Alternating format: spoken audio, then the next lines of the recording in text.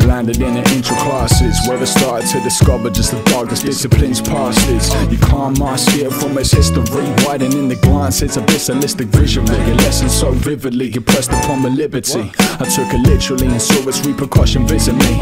Like why man's auxiliary to blind man's misery. I was on a quest of mystery, and so I thought, seeking to understand the story of man and more through the myriad of labels I handed discourse, and it was far from the plan to be in this kind of climb. But here I stand with the poems in hand, growing as a man, knowing that knowing is a scam. Interpretations flowing from my hands, trying to cram every piece of knowledge that I can in my spine of being, and showing homage to this pride of teaching.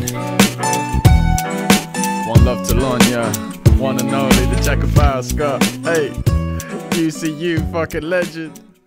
Peace.